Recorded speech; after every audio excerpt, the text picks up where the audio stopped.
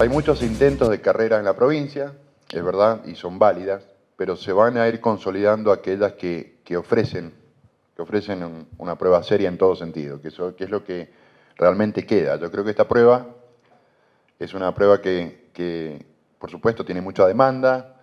Yo no soy un especialista en esto, pero escucho, voy viendo quiénes son los interesados en correrla y la están esperando dentro de su planificación anual, como hacen todos los corredores.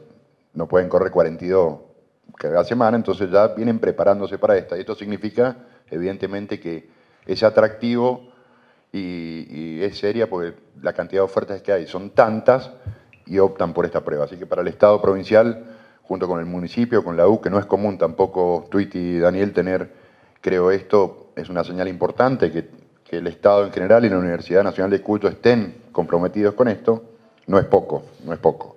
No solamente desde lo económico, sino poniendo la cara y apoyando este tipo de carrera, yo creo que es una señal muy importante porque es seria. Nosotros las iniciativas privadas tenemos muchísimas, no que no sean serios otros, no quiero que se malentienda, sino que, bueno, tenemos que optar, porque hay muchísimas carreras y no podemos apoyar a todas. Toda la semana hay una carrera de este tipo y son válidas, como dije, pero tenemos que optar por aquellas que nosotros entendemos que son serias, ¿no? Serias y, justamente que van a quedar, más allá de que por supuesto que esté la MUNI en Uspallata, con todo lo que significa, muy bien explicó el Rodri que Atrás de esto la provincia se embarca también en consolidar una marca, una oferta que va más allá de la carrera, que es la oferta turística en un lugar hermoso, con una buena hotelería y todo lo que significa como excusa deportiva, la marca Uspallata y las Heras se va consolidando también. Por eso también está la provincia.